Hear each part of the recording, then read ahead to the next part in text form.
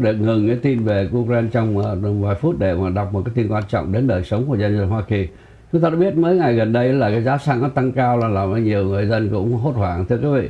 Thì uh, cái nguyên nhân nó xảy ra là vì vấn đề mà uh, chiến tranh là một cái thứ hai là vấn đề tăng lãi suất và thứ ba nó là inflation tức là cái uh, vấn đề uh, kêu là uh,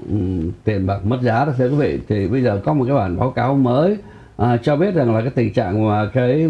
interest rate là tiền cho vay của chính phủ cho cho các nhà băng vay rồi nhà băng cho là dân chúng vay lại để mua nhà hoặc để kiến thiết gì đó thì à, trước đây đó là trong thời gian mà 2021 tháng riêng 2021 thì cái lãi suất thấp nhất trong lịch sử Hoa Kỳ đó là 2.6 65% và nó nhảy vọt lên tới 3.85% trong 3 tháng vừa qua. À, trong khi đó thì uh, người ta nói rằng là có thể có sẽ còn tăng lên nữa một chút xíu nữa thôi chứ không tăng nhiều lắm. Tăng nhiều lắm là dân hốt hoảng hay là gây ra rối loạn đó thưa quý vị. Thành ra cái vấn đề ở đây ta đặt ra là cái danh từ đây cái là soft landing. Tức là làm sao mà hạ cánh an toàn xuống sau khi mà tăng giá là hạ cánh an toàn cho không có bị dân chúng phẫn nộ. À, ném gạch đá chửi với ông dùng thành ra cái năm 1995 tức là cái uh, Ờ, lãi suất rate tăng từ 3% đến 6% mà không không ai phản đối hết. Tại vì họ không biết có cách khôn khéo nào đó mà họ đã tăng lãi suất lên từ từ từ đến từ 3 đến 400 tăng gấp đôi lên mà không có bị phản đối. Rồi ờ, sau đó thì ờ, về vấn đề mà unemployment, tức là vấn đề mà kêu là thất nghiệp đó, thì hiện nay là năm chấm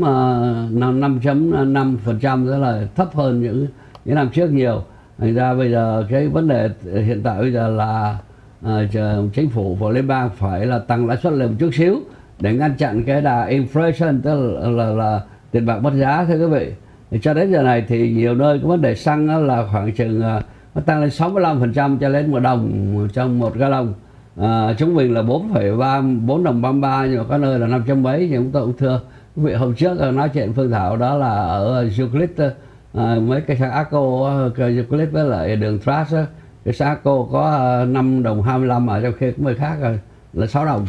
Thì ra à, cũng tùy chỗ là tùy nơi tùy chỗ tùy công ty thưa quý vị nhưng mà đó là những cái tin khẩn cấp cho đến à, liên quan đến vấn đề tài chính của người dân Hoa Kỳ.